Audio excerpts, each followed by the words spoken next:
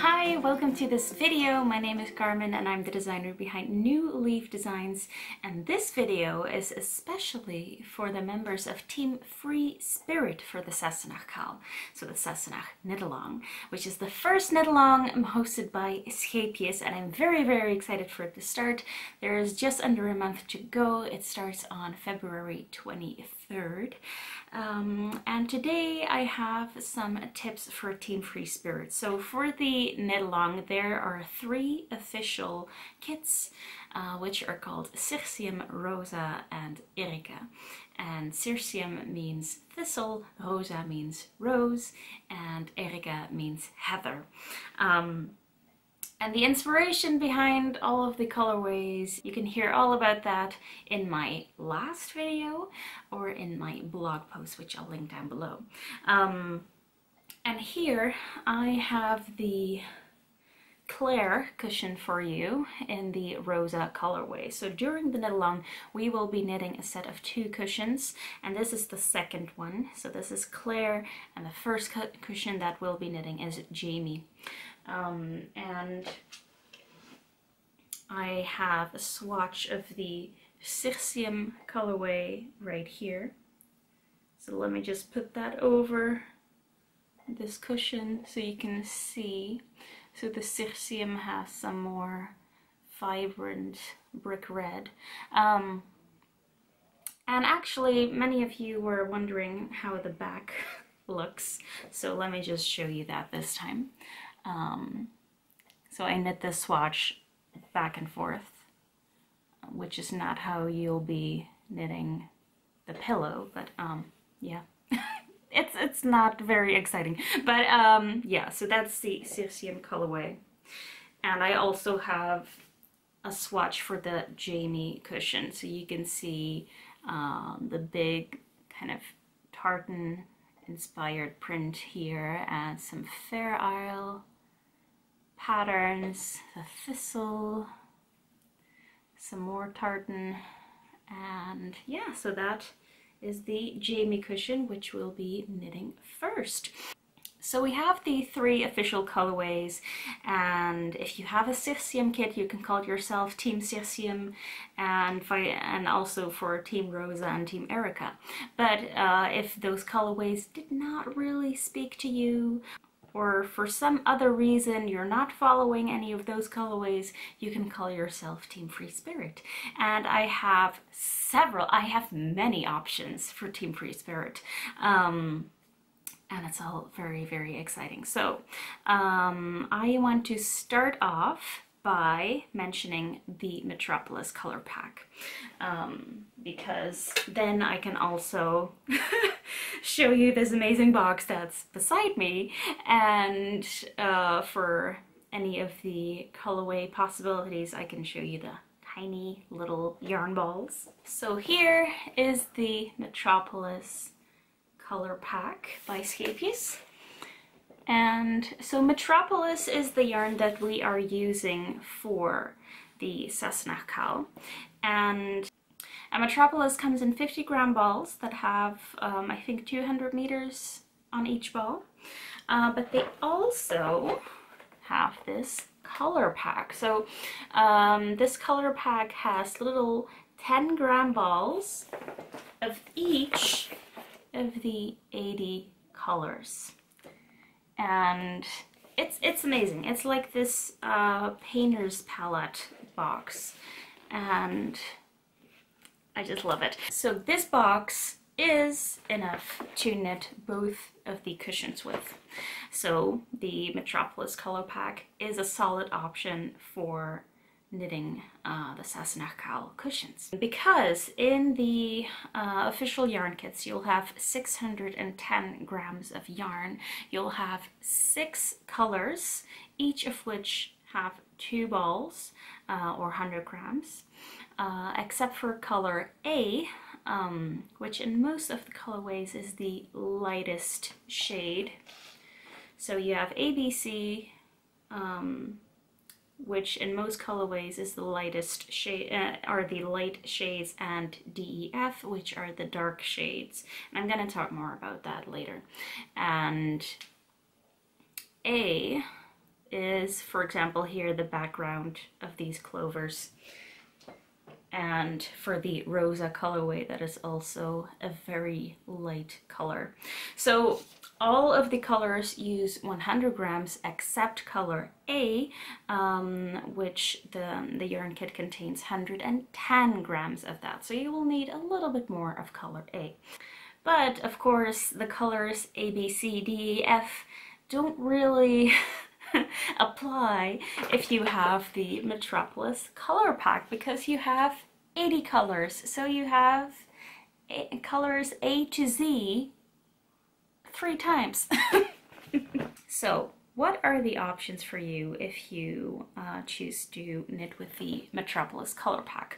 First off, you're going to have lots of yarn left over because the yarn kit uh, contains 610 grams, as I just said, and that is calculated with a margin, so you will be able to also knit the swatch, and you will probably still have left over, and depending on your gauge, I mean, course, I hope that you will knit a gauge swatch and that you will try to reach the right gauge. But I know, um, I know lots of people will still knit with a different gauge, so depending on that, you might have more or less yarn left over.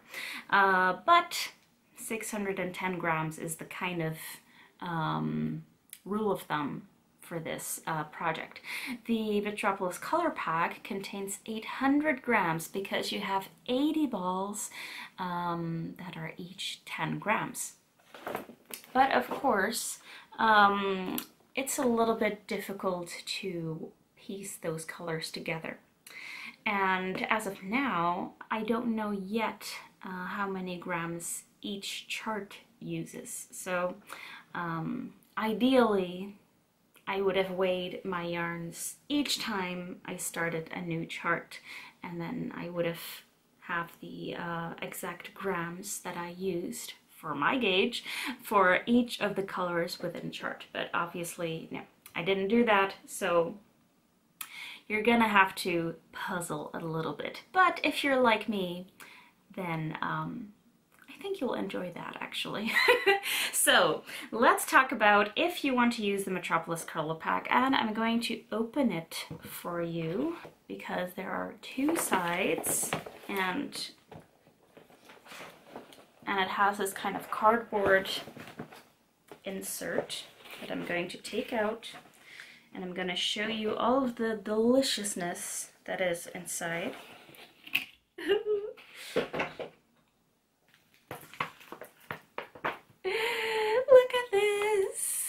oh, I want this to be the screenshot. um, right, so you have all of these delicious colors, and technically you could just grab a color and knit, knit, knit, knit. But I'm going to give you some advice because um, there are some charts in the cushion designs that are so large that um, I don't think you'll be able to do that with one of the balls per color. So for example, if we look at the clover panel, it's a really large panel. Um, and I would suggest looking at the big charts first and then picking some colors that go together and use those as the um, background color. Uh, so you would, you could choose um, two light colors that are really, really similar and use those for the background. And having said that, I don't know if 20 grams would be enough. I think so, but it's just a guess at this point. So the colors I'm holding here are Coda 24 and Almaty 56. So I'm holding those colors and the way that I would um, knit that chart is not uh, one round with this, one round with this, but I would stick to the um, Fair Isle color transition rules. So for the Fair Isle, um, let me show you. In Fair Isle, you usually take the center three or five rounds and swap out a color. And you can see that here, so the background color, it starts as this kind of mustard yellow and then uh, we use very light beige, white, and then we use blue for the center line. And this works really well for this geometrical pattern. A really bright center line would not look as good in these clovers, but of course go ahead. But what I mean is that um, off the top of my head, I don't really know uh, how many rounds this is. I think 30 or 32. So you could say, okay, um, I'm going to do the center 10 rounds with this and the, the rounds before and after I'm going to do that with this. You could say that. And similarly for the pattern color, so I'm, I'm talking about the background color, which here is the beige, and the pattern color, um, which is the very dark green here. For the pattern color, you could also use two colors that are very, very similar, uh, such as these. And this is uh, Bucharest, uh, yes, Bucharest and Glasgow, so that is one and two. Um, colors one and two. You could use those for the clovers because um, that would look really nice. And then another tip for the background because even though the pattern color looks best when it's a solid color, the background, you can use some varieties in there. So let's say you have a dark pattern color, so the background needs to be light.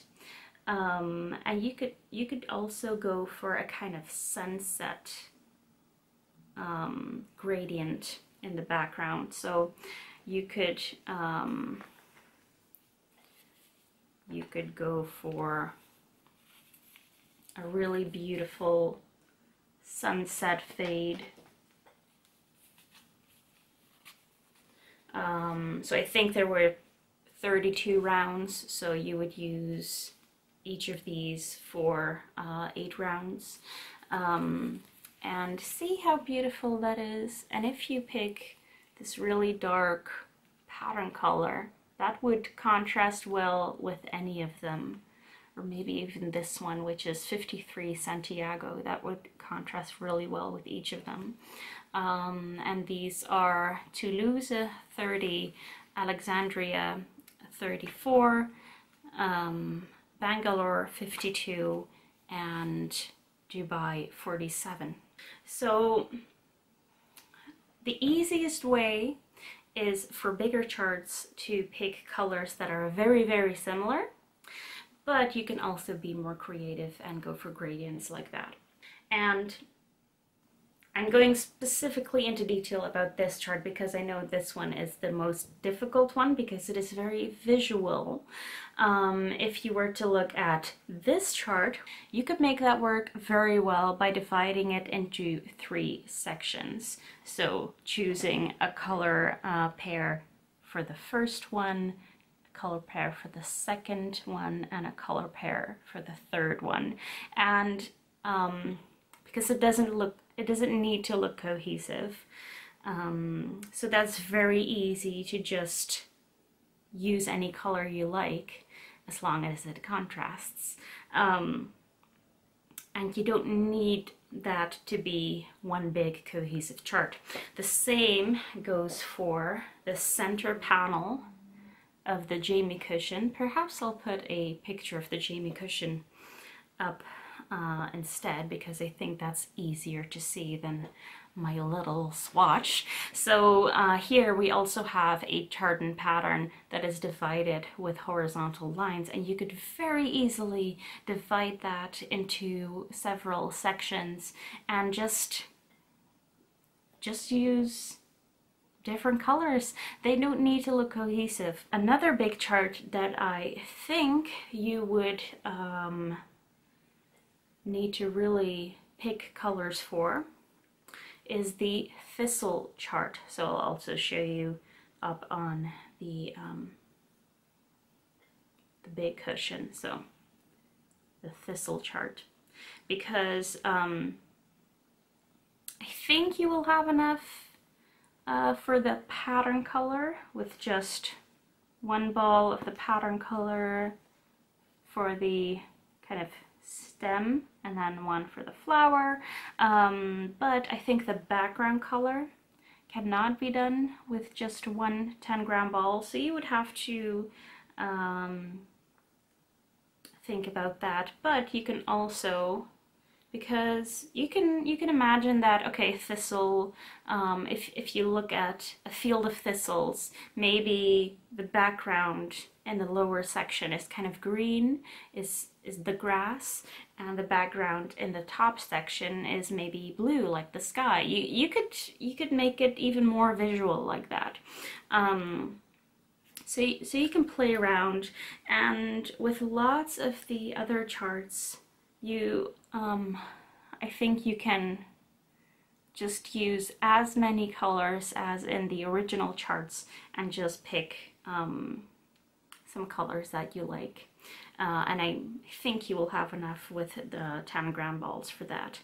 Um, and then I'm just giving you loads of tips here. This may overwhelm you, so just come back to it if you feel up to it.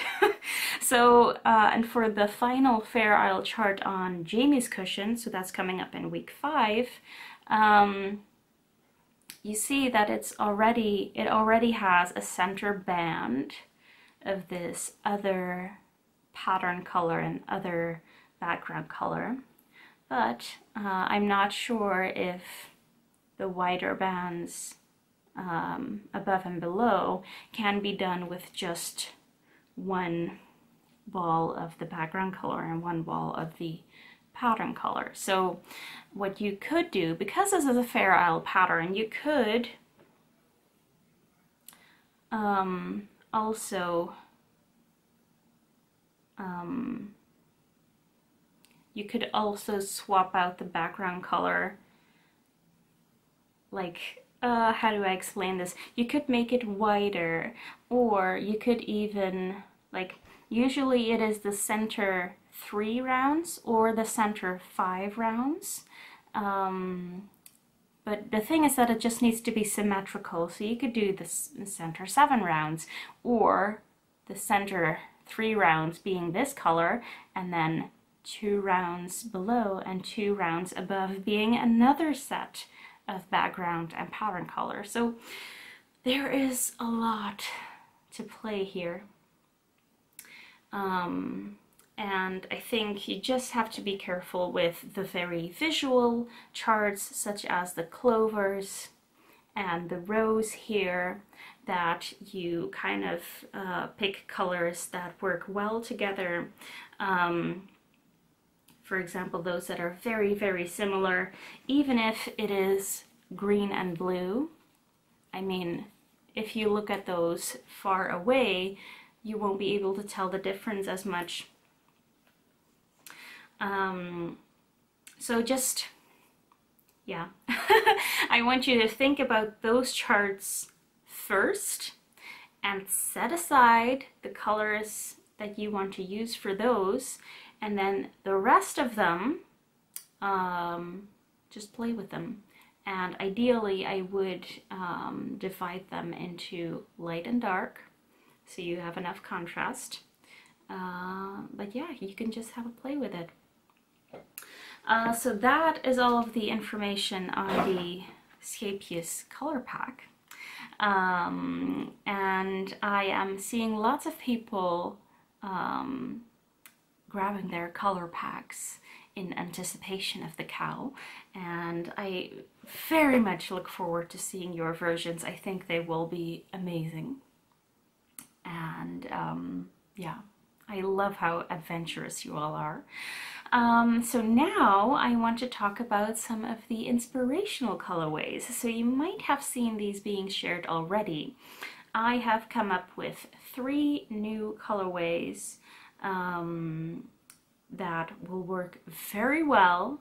Um, and that I hope will inspire you. So first up, we have Viola, and I think this might be my new favorite. So Viola, I will put the inspirational image on the screen for you right now. So it is um, inspired by violets and specifically the violets on Bonnie Prince Charlie's uh, coat. So in the Outlander series, which this whole knit along is heavily inspired by, Bonnie Prince Charlie is, um, he's always wearing very luscious uh, silks or embroidered jackets. Um, and I think it's mostly season two that we see him. And in season two um, Jamie and Claire they live in Paris. You see a lot of uh, Versailles uh, like in the palace. It's it's beautiful. It's it's lush. It's it's just wow. and uh, this colorway is, is inspired by Bonnie Prince Charlie and um, I will put some inspirational images on the screen that inspired this colorway. So I noticed kind of a coral theme and also lots of teal blues and that's what inspired the Viola colorway and I'm holding them in order right now from A, B, C to D, E, F. Um, if you want to follow the charts in the pattern. So when choosing these new colorways, I always I always choose three light and three dark and I make sure that all of the lights and darks contrast well with each other and to check this um, I recommend taking a picture of your choice and then converting that to black and white and I usually do that on Instagram uh, because it's very easy to swipe between filters and find a black and white one. Um, so yes, A, B, C, D, E, F. Um, that is the Viola colorway. And I'm going to read out the colorway numbers for you. So A is Dubai 47, B is Leeds 46, um, C is Suwon 18, D is Ankara 10, E is Bucharest 1, and F is, what is this, Lagos? No, it's Rabat 41. Um, and I just think this colorway is chef's kiss, amazing. Um, I hope to see one of you knitting this because I love it. And yeah, it is called Viola because Bonnie Prince Charlie wore a coat with violets embroidered on his on the coat. Um, okay, up to the second one, which is called Dahlia. And okay, actually for the second one and the third one, Dahlia and Solana, um, there's something different going on. So for Dahlia, which of course means Dahlia, and Solana, which means nightshade, and doesn't technic it's not literally nightshade but nightshade uh, the flower is part of the solanaceae uh, so the family of solana and I thought it was a gorgeous name, so I thought why not. Um, and Dahlia is inspired by the dress, as I like to call it, so I'll put a picture up on the screen of the dress that Claire wears to this kind of garden party in Versailles. It is a kind of, well, it's a kind of dull brown, but uh, there are so many golden and pink and purple details on it that it's just it's it's a stunning dress. And you know if I think of stunning dresses I usually don't think of the, this kind of latte macchiato shade of brown but um, I actually really love it. So of course I had to base a colorway on this. And the brown from the dress I translated that to colorway 66 Copenhagen and also a bit of Valencia 62. So um, the Dahlia colorway is this one and ABC are here and DEF are here. And so for this colorway and also Solana, I have switched around the lights and darks. So ABC are the dark ones and DEF are the light ones. And that's because um, um, I put these colors into my chart maker. Um, and I thought that this way around it looked much better because uh, the yellow gets more playtime this way. Um, so as color A we have Bogota 50, color B is Santiago 53, C is Valencia 62, D is Alexandria 34, E is 40 Dhaka, and F is Copenhagen 66. And the same inverted color scheme goes for Solana. So uh, this was inspired actually by someone in the Scheepjes Facebook group who said, uh, oh, I'm gonna do my own version, but like make it gothic. And I was like, that's a great idea. Um, so it's gonna be very dark, with purples and grays. And I, I love this combination. And um, it is kind of inspired by, um, if you know the story um, of Outlander, I think it happens in season one, where Claire goes to this village and there's this boy who ate a poisoned flower.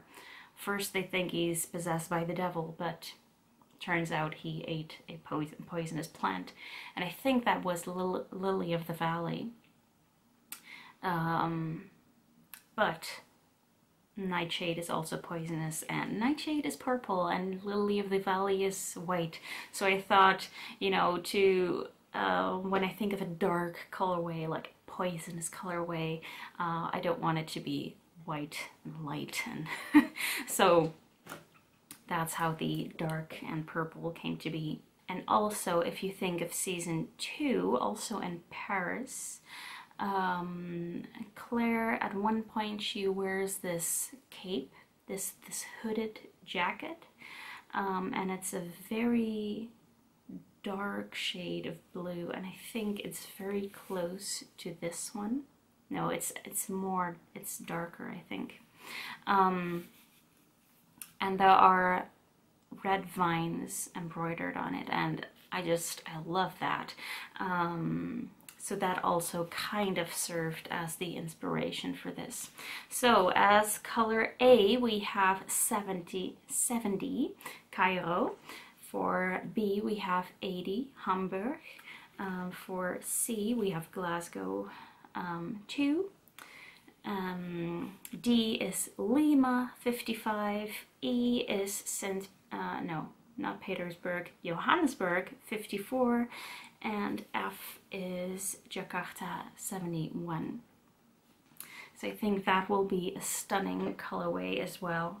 Um, and I can't wait to see what other colorways you come up with. So there, there are so many possibilities um, and really all you need to do if you want to create a colorway of your own is to pick three light shades and three dark shades. So you could just, you know, I'm sure most of you won't have a box like this, but if you're uh, on a website browsing for yarn and you pick three light ones and three dark ones, like boom, you have your own colorway that will work.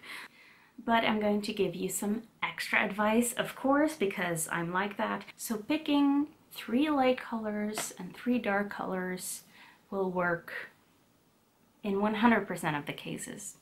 Um, and to make it even more to your liking is um, to pick a chart that you like best. For example, if you like the clovers best, if you like the rose best, or maybe one of the tartan patterns in Jamie's cushion, um, then choose your favorite combination for that. Um, for example, if you like the clovers, um, I can tell you already the, the colors for this one is the background is A. I think I already said that, that um, the kind of lightest color is A, except for the two new colorways, Solana and Dahlia. And then the clover is D. So that's the first one of the dark colors.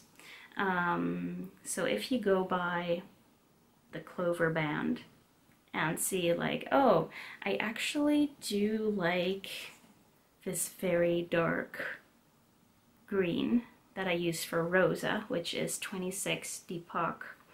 But I want something else for the background color. Perhaps I want a blue instead of this um, white, or perhaps I want a pink. Then you can have that as your color A because that is the background of the clovers. Um, yeah, but... and I could go on and on and on giving you loads of tips and tricks and advice uh, but honestly I think that would be very overwhelming so um, I'm gonna leave it at this and I'm going to wish you loads of fun putting your colorway together. Um, and do tag me in your photos of hey this is my colorway. Do you think it will work?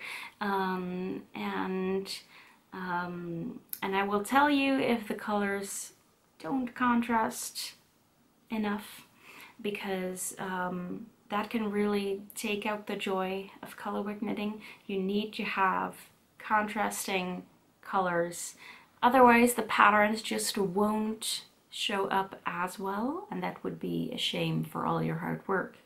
Um, so yes, do go in the Scheepjes Facebook groups, whether you're in the Dutch group or the international group, and tag me in your colorway choice, whether you have the balls of yarn in front of you or whether you have screenshots of the Scheepjes website of their uh, the Scheepjes Metropolis colors and ask me if they will work and I will be honest. Um, because the last thing I want is for you to knit up this whole cushion and then you won't be able to see the pattern. Um, and I think that is the biggest kind of trap if you put together your own colorway. And for example you only choose like colors that you really like like oh I like pink I like blue I like green um, and then if you don't really pay attention to the light and darkness of each color then you will have a really pretty palette but no contrast. So so that is really something to think about like oh you know, instead of this pink, or I could move this pink to the light section and choose a really dark burgundy because that will look really nice. And you could choose a really dark blue and a really dark green. And ta-da! You have contrast. Um, so it's really just taking a look at your yarn choices and and seeing if they have enough contrast. Um, right, I'm going to leave you with that before I ramble on for another hour. Um, I'm having a lot, of, a lot of fun doing this already, so I hope you will too. And yes, do tag me in your photos, and I hope to see your colorways very, very soon.